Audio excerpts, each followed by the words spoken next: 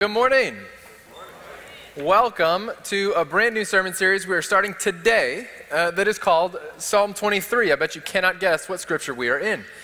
Psalm 23 is something that has been on my heart for a while as something I really wanted to uh, dig deeper into.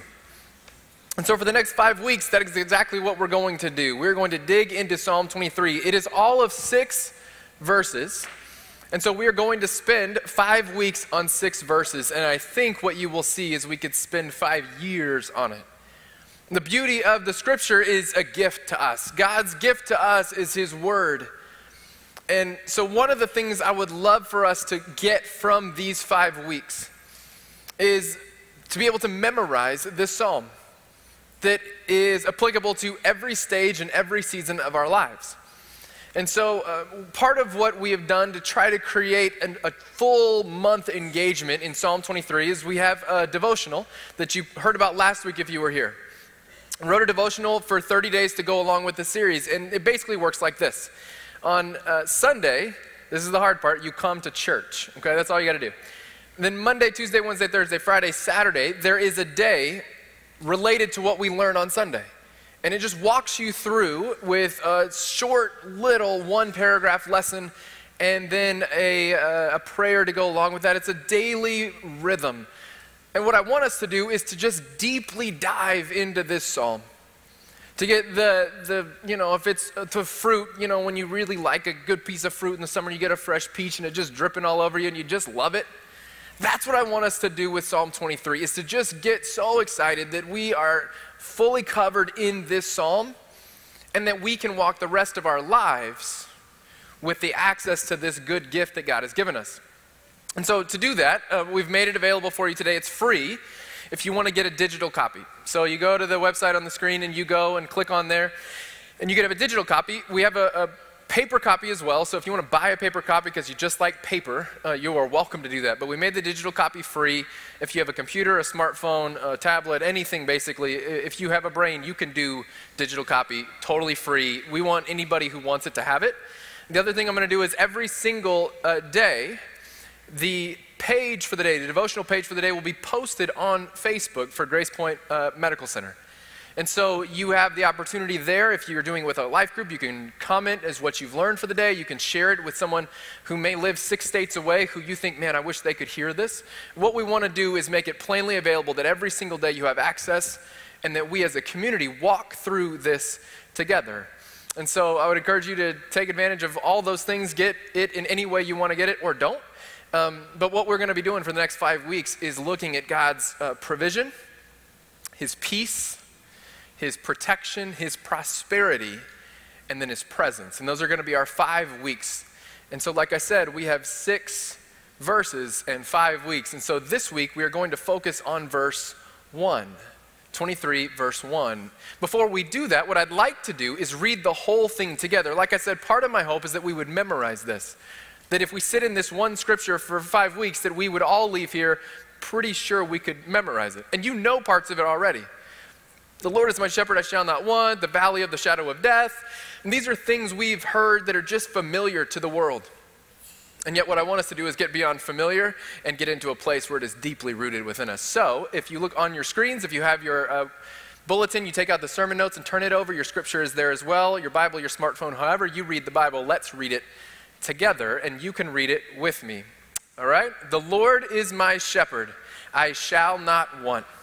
He makes me lie down in green pastures. He leads me beside quiet waters.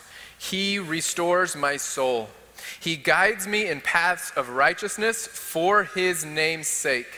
Even though I walk through the valley of the shadow of death, I fear no evil, for you are with me. Your rod and your staff, they comfort me. You prepare a table before me in the presence of my enemies. You have anointed my head with oil. My cup overflows. Surely goodness and loving kindness will follow me all the days of my life, and I will dwell in the house of the Lord forever. Amen. Let me pray. Heavenly Father, this is your word. This is your gift to us, and I pray that as we uh, walk into a season and a series where we are going to get deep into this word, Father, that you will illuminate it for us You'll remove distractions, that you will remove all the impediments, and that, Father, we would find ourselves longing for more of you, and that we would discover you, find you, and know you better through this. And so, Father, I pray that you would show us favor this month as we attempt to memorize, as we attempt to uh, drink deeply of your goodness, so that we not would just have it for ourselves, but God, that we might live it out and see a world in darkness turn to light. And so, Father, we love you and we thank you for Jesus. We pray in his name. Amen. Amen. So, today is total provision. Psalm 23 1 The Lord is my shepherd, I shall not want. The Lord is my shepherd, I shall not want. This is fundamentally, I think, as we start this psalm, this is a perspective shift for us. What it's saying is, The Lord is my shepherd a shepherd oversees the sheep, right? And so if the Lord is my shepherd, then he is um, here and I am here. He is above and I am a lowly sheep, I am below. And this may not seem like a world changing radical thing, but if I'm honest, and I don't know about you, but typically I see the world through a pretty me centric lens. If, if I had a bad day, it was a bad day, right? If, if something wrong in my life is going on, then that's pretty much all I feel and see. My world is, it kind of everything rotates around me most of the time. I'm me centric. That is what it is to be human, is to not really have the daily perspective to see that there are seven billion people and it can't rotate around each of us. And so, what this does, first and foremost, is it drives us back to the idea that the Lord is my shepherd. The Lord is the shepherd, and we are the sheep. A shepherd is totally responsible for his sheep. What they eat, when they drink, their protection, their safety, anything that the sheep need is provided by the shepherd. And so the question we start with today is what do you yearn for? When he says, The Lord is my shepherd, I shall not want, what is it that you want? Like, if we're honest with ourselves, deep down in our souls, what is it that we want? What is it that we yearn for in our hour of need, in our worst day? What, what is it that we go, man, if I just had blank, then it would all be okay? See, a sheep is totally dependent on the shepherd. We don't like being dependent either. We are Americans, we are independent. We don't have Dependence Day. You guys, you notice that? July 4th is coming up. We don't celebrate Dependence Day. That's when I gave up control of my life and I surrendered to the Lord Jesus. Let's have fireworks. Like, we don't do that.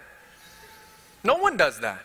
We have Independence Day. This is when we push the tea into the ocean and we shot all the British people and now we're independent. And then we shoot off fireworks to just make sure if anybody thinks they're going to come and attack us, look at all the fireworks we have. We will, you know? We're independent. Look at all the hot dogs I just ate. I'm still kicking. Let's go. And that's Independence Day. And it's a little bit insane. But that's because that's what we celebrate. That's a value independence. To be sheep to a shepherd means to be fully dependent upon something greater. And this runs counter to our culture. When the sheep want shade from the sun, when they want refuge from the storm, the shepherd is the one who provides it. He guides them under the tree, he guides them into the fold, he, he takes care. This is probably because sheep are dumb. I don't know if you knew that. I grew up in the city. But from the people I ask, they tell me sheep are dumb. Sheep are like the, the animal kingdom equivalent of lemmings. If, you, if the shepherd leads the sheep over the cliff, they just keep going. They're just not very smart. It's not hard to get the sheep into market to be slaughtered. You just kind of you walk one in and they just follow the one behind them. They don't know where they're getting sheared or slaughtered and they don't really care. They're just sheep. They're dumb and they're really vulnerable. You know, like, like fluffiness is not a good defense mechanism in nature. Did you know that? this might be the chief uh, argument against evolution, which, you know, we could have that debate another day, but what did the sheep ever evolve into? It's just, it's just fluffy. I don't know what bounce, the wolf bounces off the, I don't know. The sheep are vulnerable. What can they do? They just baa and that's about it and it's over. They're dumb and they're vulnerable, which is, this is the first insult, right? Let's get into the insult. That's us. This is what the scripture is saying The Lord is my shepherd, I shall not want. So if the Lord is my shepherd, then I am the sheep, which would say that I am dumb and vulnerable. And while that is offensive to me, because God has given you gifts and God is, as humans, we have uh, elevated intelligence over all the others, and we do have all these gifts, and we are not like uh, total morons. But when it comes down to it, we get ourselves in some pretty strange situations. And if we look around, we are really vulnerable to all the schemes of the enemies around. Sheep can't provide for themselves, and if they could, they wouldn't know what they needed. This is uh, well applied if you come to my house. Uh, uh any morning of any day of any time of my entire life. I have a four year old, and uh, every morning uh, we have breakfast out for them. And, you know, we're not crazy people. We're not granola and grapefruit. They like, they get normal food tacos or uh, cereal or cinnamon rolls or whatever. Right? So she's not starving. And yet every morning, I would bet my life on this. She will ask me at some time before 8 a.m., Dad, can I have some candy? When have I ever said, I've never said yes to this before, you know, like, no, why, what, I just, and then she gets her like little cute, I'm four, I'm your baby fa- face on, and she's like, but I, oh, Dad, I really need some candy. You know, she's just weak with a high fructose corn syrup. You know, she's just, she's dying for it. To which I say no, right? I'm a good dad, I'm strict. I hold a hard line. No candy before 8:15, right? That's that's how that works. Um, but that's what she thinks she needs. It's what she wants for sure, but it's what she thinks she needs every morning. Oh, Dad, I really, oh, you know, and then you know she eats something normal and she feels better and she just goes away and forgets about it. Wants and needs are not the same thing. And here's the interesting thing: when our needs are met, we're not left wanting. So, my wife and I got taken to dinner recently to a place we could not afford. This is a recurring theme in my life if you've not noticed this, but a nice couple said, Hey, we'd like to treat you. It, had been a long week for us, it had been a long day for us. We were kind of depleted, exhausted, all these things. They said, Just let us, let us take care of you. We looked at each other and we are like, Okay, sure. So we went to this nice Italian restaurant, something that we wouldn't have chosen for ourselves, and, and we sat down, and I was famished. Like I'd had um, nothing that day basically to eat. I was just kind of like rolling. And I looked at this menu. And knowing they were paying, right, I wanted to be really gentle about it. And I was like, one of everything. just all of it. Dessert first, you know? A slice of cheesecake, whole cheesecake, the whole, you know, this is what I wanted. It's what I wanted because I was hungry. So they bring out, uh, you know, we ordered and they bring out, I got a salad to start, and that was really good. And then eggplant parmesan, I was like, this is good. All melty and wondrous. Spaghetti, it's almost lunchtime, y'all. Mmm. And I stuffed myself. I ate every last morsel of everything they brought me, and she came back and she goes, okay, who's ready for dessert? Not me. I don't want dessert. Why? My needs were met. The thing I walked in wanting, one of everything and all of your dessert, tiramisu, just, just dump it on me and I'll lick it off. It'll be fine. That's what I wanted. What I needed was nutrition. What I needed was nutrients to restore my body. And when I got them, what I needed changed what I wanted. You ever go grocery shopping on an empty stomach? Yeah? Man, this is the secret sin, right? You come home with like a car full of groceries, your spouse is looking at you, what's for dinner? And you're like, um, I got Twinkies, nine bags of Doritos, and I bought a flat screen. You know, you're like, well, what do you want? I was really hungry. I don't know. I just, I had no control. This is what we do. You're never supposed to grocery shop hungry because everything looks great. You cannot distinguish between what you want and what you need anymore. It's all, it's just all a blur. You ever try to return Doritos to HEB? It's really awkward. So don't do that. But when you grocery shop and you just ate, you're able to focus on what you really need, and what you need and want, they kind of blend. David picks up on this as the psalmist.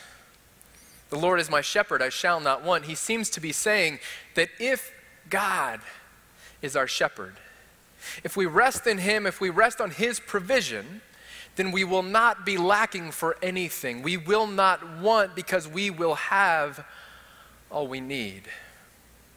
And we don't see it that way often. We want what we want when we want it. And we don't recognize the reason we want it is because we don't have what we need. And so, the first thing Psalm 20, 23 teaches us is if you have what you need, then you shall not want. Jesus picks up on this theme in uh, John 10. He says, I am the good shepherd. The good shepherd lays down his life for the sheep. He who is a hired hand and not a shepherd, though, who is not the owner of the sheep, he sees the wolf coming and leaves the sheep and flees. And the wolf snatches them and scatters them. He flees because he's a hired hand and he is not concerned about the sheep. I am the good shepherd and I know my own, and my own know me. Even as the Father knows me, and I know the Father. And I lay down my life for the sheep. I have other sheep which are not of this fold. I must bring them also, and they will hear my voice, and they will become one flock with one shepherd. Jesus is juxtaposing a shepherd and hired hands. What you would do is if you had too many sheep, you would have to hire other people to watch certain numbers of them. The problem is, only the shepherd cares about his sheep. Only the shepherd is concerned with the well being of the sheep. The hired hand is just there for the paycheck. And so, for us to know the difference, what is it in our life that is the shepherd? Who is that? And then, what are the hired hands? See, we live in a world full of false shepherds, false things that will uh, say they want to guide us, to lead us, to help us, to supply us. Those hired hands, those false shepherds in our life are not concerned about us. And so I would ask, what hired hands are you looking to for provision in your life? Meaning, what are you looking to to provide significance or meaning or healing? What are you looking to to provide hope for your days? Sex, money, status, power, career, control. These are some of the things that we place our hope in, we place our significance in, we place our lives in. They are the hired hands. And the problem is, no matter how much control you have, you are never in control because there are always things beyond your own. No matter how much money you have, there are things you can't afford and there are people who make more. No matter how much of any of these things you have, A, it's never enough to satisfy. And B, when tough times hit, hired hands are not concerned about you. And so when life gets out of control and you're left gripping and trying to hold on, it doesn't care. It'll throw you where it wants to throw you. And when the career you've worked so hard for, when, when you work for Enron and it's 2000, and all of a sudden this company you've poured your life into goes belly up under no fault of yours, your career's not concerned about you. All of these hired hands are things that tempt you into thinking they are the provider of your life, and yet none of them are concerned about you. And when storms hit, when trials come, none of them provide. They all fail. They all flee when the wolf comes near. In the hands of the world, I always need more to be satisfied. In the hands of the Good Shepherd, I lack nothing. I shall not want. So it's as if you and I are hungry for God. Scripture says that we are wired to want God. Eternity has been sown into our very being. We know that there's this greater thing for us. And so, what we find ourselves doing is we are basically grocery shopping through life, hungry for God. And yet, everything we see on the shelves of life, a little bit of control, a little bit of power, these are all things we're trying to supplement. And maybe this can help me. Maybe this can help me. Maybe this can help me. And what we need, ultimately, what we need as we shop through life hungry for God is we need God. And if we had God, all these other things would pale in comparison. We would no longer be attracted to power. Because what's power? Because my king who loves me, who died for me, has conquered the grave. What power could I have that would be greater than him saying he loves me and he saved me? There's nothing. When you're rightly ordered, all those other things, all those other hired hands are no longer attractive. But it requires us to see the world as it is, as a shepherd and sheep. Jesus talks about knowing his voice. My sheep will know my voice. What voice do you answer to? Or maybe more concretely, What is the dominant voice in your life? Is it ESPN? Is that, I mean, like literally, is that the dominant voice? That's the voice you hear most? Is it a friend? Is it Facebook? What are they saying about me today? What is the voice that you are looking to and listening for to guide you? Because life is hard. We get distracted, life is complicated, and what we end up doing is going to the easiest voice to hear. I can flip this channel on, I can just zone out. I can scroll through this, I can just zone out. If I can, and what we don't recognize is we are giving our lives to hired hands. And then they let us down and we wonder why we feel so unfulfilled. Jesus not only says, I will provide, the voice of Jesus. He not only says, I will provide, but when there was no other way, Jesus gave himself and became provision. When there was no other option to save you and I, Jesus said, Not only am I going to tell you I'm going to provide, but watch this. And he climbs on the cross and he takes the penalty for our sin and he says, I am not only telling you I will provide, I am provision itself. Total provision. Which is why we can say, I shall not want. Because what else is there? What else could we possibly imagine? Paul says in Romans 8 31 and 32, he says, What then shall we say? If God is for us, who is against us? He, God, who did not spare his own son, but delivered him over for us all, how will he not also with him freely give us all things? He's saying, He gave you his most prized possession. He laid Jesus on the cross so that you and I might live. And what lesser things are we worried about? What are the lesser things we're going to, I don't know if God will provide that for me. I got to get it for myself. Or I got to rely on this, or I got to go trust this hired hand, and I got to cobble it together because I don't know if God's really for me. He hadn't answered my prayer yet. I don't know if God loves me. I don't know if God, what? He gave his son. His only son, his most prized possession, and he sends him to be sacrificed for you and I. What lesser things are we sitting on going, I don't know if God will provide? In the hands of the Father, we lack nothing. He has been proven faithful. God's extravagant love is on display. So the psalmist sits down and he says, The Lord is my shepherd, I shall not want. Because the good shepherd is the great provider. Because in our hour of greatest need, God sent the most precious, costliest gift. The Good Shepherd lays down his life for his sheep. It's not just a metaphor. Jesus is not just speaking in metaphor, the Good Shepherd lays down his life for his sheep. It's a meta narrative, it's the overarching meta narrative over all of history that Jesus himself fulfilled. Imagine being his disciples in the moment, and Jesus says, I'm the good shepherd, and the good shepherd lays his life down for his sheep. And the disciples have to be going, huh? Like, like someone should tweet that. That's really, that's a pretty good quote, Jesus. That's a good metaphor. To which Jesus says, just wait. And you flip forward a couple pages in, in history, and you see Jesus finds himself on the cross, and the disciples are scattered. Not only are they overwhelmed by what's just happened, it took them by surprise because not even they could imagine that someone would love them so much so as to give themselves on another's behalf. And you and I live under that fulfilled promise every day. We have the beauty of history. We can see backwards and go, wow, he loved me so much. He loved you so much. Part of the problem is salvation is free to us. We don't value free things very well in our culture. The Spurs game not long ago, and they laid t shirts over every chair, you know?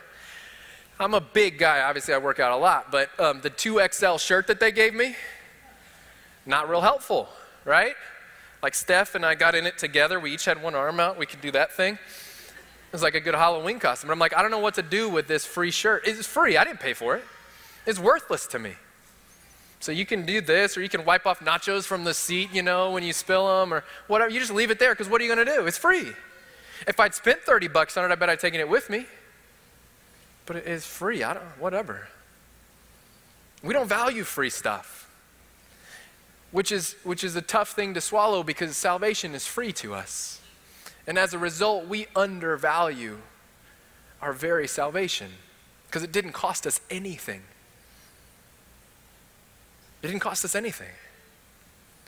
And so it requires us to take this perspective the Lord is my shepherd and I am his sheep. It requires me to look at it that way and to go, even though it didn't cost me anything, it cost God everything. And in that moment, we get a right understanding of who we are. In the shadow of grace, we get to understand who we are and where we stand. You experience that on some small level when I go to dinner with somebody who pays for a bill I could never afford. That's a small thing, and yet I still sit in, in like kind of gratitude to this person. Not guilt that I couldn't afford it, but gratitude that they would just lavish upon me love. And yet, that's our very existence that God so loved the world that He sent Jesus. The costliest thing we can imagine, He lavished upon us. And so we shouldn't be guilt ridden that Jesus had to die because I'm a sinner. We should be so grateful. We wake up every day and go, The Lord is my shepherd, I shall not want, because anything I could ever want, He already gave me in Jesus, whom I needed more than I ever knew. And this is the beauty of this scripture. We have a good shepherd. In our weakness as sheep, he provides strength. In the storms of life, he is rescuer and he's redeemer. He has never forsaken us, he will not forsake us.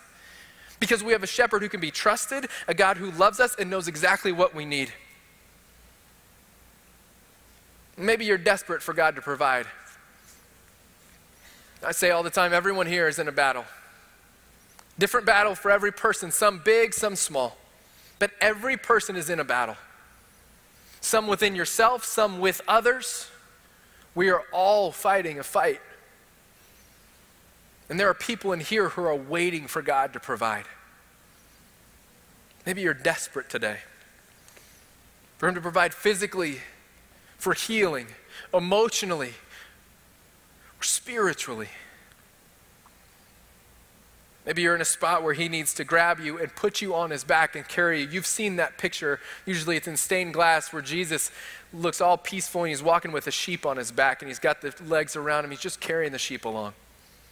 I usually look at that picture and I'm like, oh gosh, what sanitized Christianity is that? No, it's perfect Christianity. It is the picture of what Jesus has done for us. Because when you think about it, when we recognize who we are in light of who God is, when we can honestly say, The Lord is my shepherd,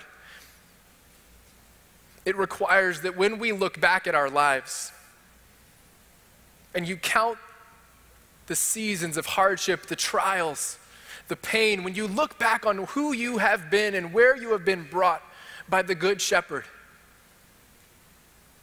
what I begin to realize, what I pray you would realize, is that He's been carrying us a lot of the journey already. That a lot of the journey already He has us on His back. That you and I think we're doing it. But the Good Shepherd, when we are in trouble, when we are injured, when we are in, in, danger, the Good Shepherd has never left it to chance. He takes on our weight and he carries us through over and over and over again. And so, the decisions I'm most terrified of making, the paths I'm most terrified of walking, the places in my life I don't know what's coming next or what I'm supposed to do, all of the sudden, if I'm in the hands of the shepherd, there's nothing I should want. And there's nothing I should fear because he has me. The Good Shepherd provides everything we need, and he wants nothing less than everything you ever needed to be provided. And he's proven that in Jesus. It's all you'll ever need. And yet, He's not some distant God. He knows that every day there is a new set of things that His children need. And you and I have this list of wants. And what I yearn for is the ability in my own life to every day root myself and say, God, you are all that I need and therefore all the things I want pale in comparison to who you are, and I can trust you to provide good things. So today we get to celebrate that. The band's going to come back out and we're going to close with a song and, and celebrate that we have a good shepherd. Celebrate that we have a God who has not given up on us, that will never forsake us, that looks down upon us and says, I love you this much, and we get to look back and go, Oh, how I love you too. We have a good shepherd and a great God. And so while we're going to celebrate together, we're going to sing together, there are still people in this room that are not there. That are in a place where when I say I can look back in my life and see where God has carried me, you're going, I need something to carry me now because you don't know what I'm going through. And this is a safe place to be that way. And so, what I want to offer you is we're going to have our prayer team on either side of the stage on the edges. But I also want to leave the front of the stage open. If you need time with God, if you need to return and come back to the shepherd. Maybe you've been far from God and you go, you know what, I want to celebrate with everyone else, but I got to get right first. I want to offer you the chance to just come and kneel, spend your time with God. Kneel before the Father, the shepherd who loves you. Get right for this journey ahead.